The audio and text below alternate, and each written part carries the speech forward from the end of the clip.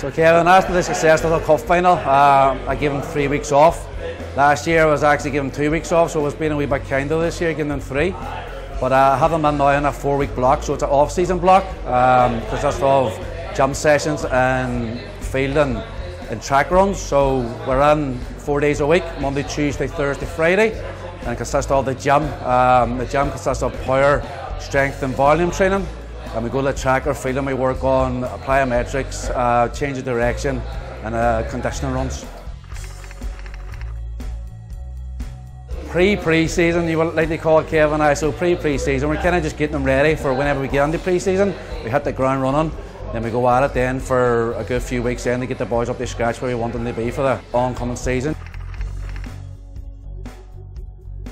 Well, they're about a give and take with it all, you know. You have to kind of you have to play ball with them because they are still on a wee bit of time off and they have been really really busy since the cup final. You know they were went away together for a while. I give them a wee bit of leeway to go enjoy Christmas to a certain extent, but at the end of the day we're back to work. We're back to uh, getting the boys ready for the, the oncoming season.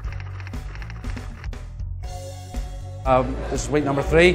We'll actually give them a couple of days off during Christmas. I'll give them about four days off. And we'll come in a couple of days before the pre-season then. So we'll come in after Christmas for maybe two or three days. I'll give them the weekend off, then we have pre-season and then that following Monday.